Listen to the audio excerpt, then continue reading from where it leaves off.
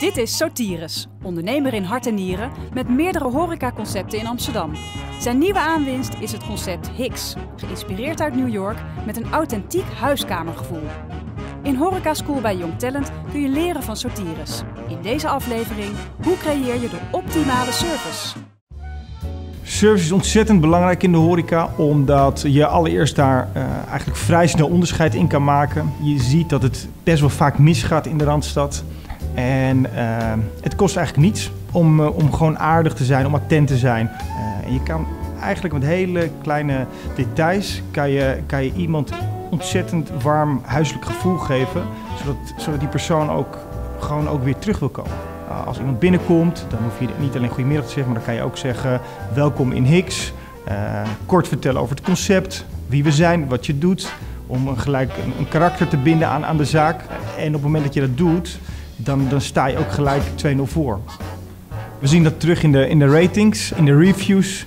Die zijn gelukkig ontzettend hoog. We zien eigenlijk al dat de ratings heel veel gaan over het eten, maar ook nog meer over de service.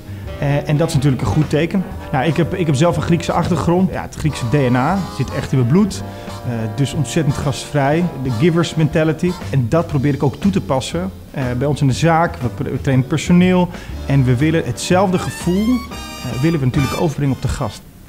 En op het moment dat je dat doet, dan zie je vaak dat, dat je best een foutje mag maken. Dat er best iets fout kan gaan. En dan zie je dat de gast zegt, hey, dat maakt niet uit. Dat komt goed. En dat zijn allemaal voordelen op het moment dat je goede service verleent. Iedereen die hier komt werken bij Hicks, die, uh, die wordt voorzien van een training. Uh, die training bestaat uit verschillende elementen. Een, een rollenspel, hoe je moet communiceren met de gast.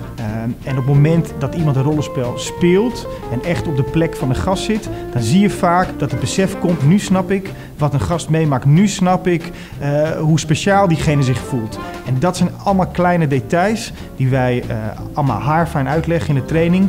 En dat zie je, je ziet eigenlijk direct resultaat. Nu met corona, ja, dan zijn we een tijdje dicht gewoon doorgaan met de training. Want je ziet vaak dat als je, als je een beetje uit de routine stapt, dat, dat mensen wat langzamer worden. En nu heb je natuurlijk genoeg tijd. Dus ik zou zeggen, uh, doe nu je trainingen. Want voor je het weet zijn we weer open. En dan, uh, en dan moet je natuurlijk helemaal uh, scherp staan weer. Zen Pickled Food Professionals.